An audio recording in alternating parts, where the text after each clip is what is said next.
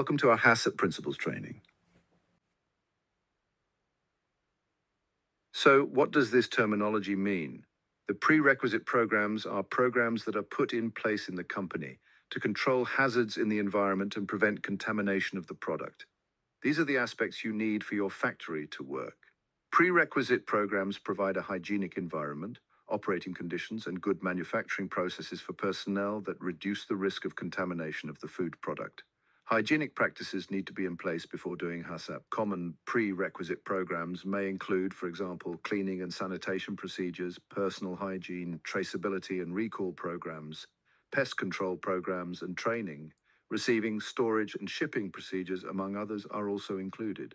And the HACCP plans are prepared for each product or process and identify possible hazards and controls in place to make sure the hazards are prevented, eliminated, or controlled to ensure acceptable levels in the food product.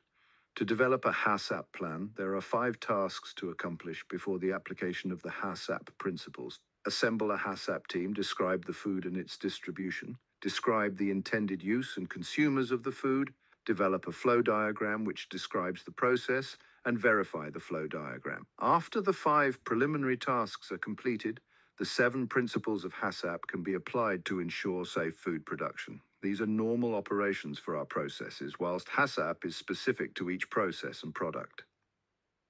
Now, let's go through the seven principles of HACCP.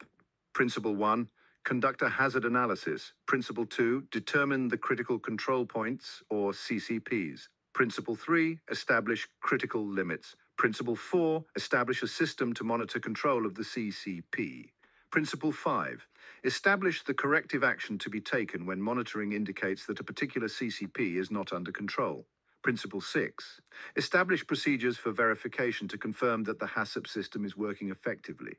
Principle 7 Establish documentation concerning all procedures and records appropriate to these principles and their application. We are happy to help with any queries you may have. Please like and subscribe to support our channel. With your help, we would like to continue to create videos that you can enjoy and use to help you understand the food industry. Follow us on our Instagram, YouTube, TikTok, and Facebook to learn more about the food industry.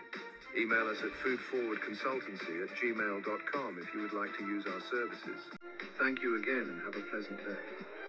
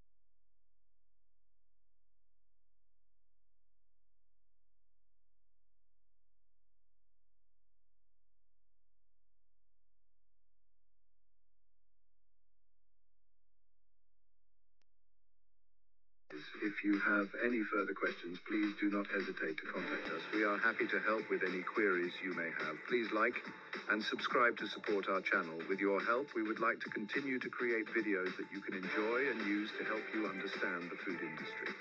Follow us on our Instagram, YouTube, TikTok, and Facebook to learn more about the food industry. Email us at foodforwardconsultancy at gmail.com if you would like to use our services.